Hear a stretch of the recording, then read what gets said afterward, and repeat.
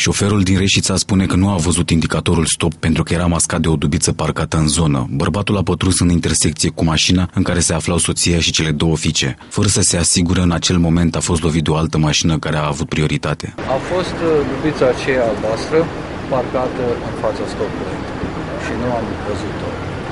Nu, nu am văzut stopul. Nu au oprit la stop, băiatul cu mașina și s-a produs accidentul. Impactul a fost atât de puternic încât cele două mașini au rupt un copac aflat pe trotuar, apoi s-au oprit într-o casă din care proprietarii au ieșit într-un suflet. Eram în cameră și parcă face mama, ai repede că mi se pare că loviră mașina. Mașina e pe partea de la Ieșirăm afară,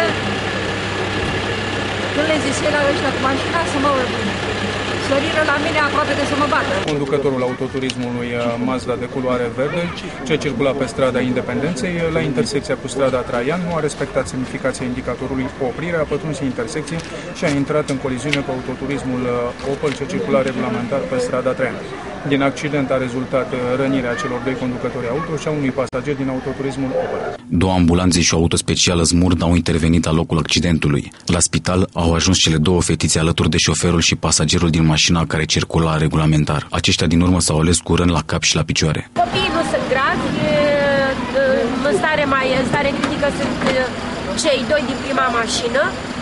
Mama fetițelor este cu traumă, dar nu este grav și tatăl fetițelor care refuză să meargă. Fetițele nu au Șoferilor le-a fost testat alcoolemia de către polițiști și s-a constatat că niciunul nu era băut.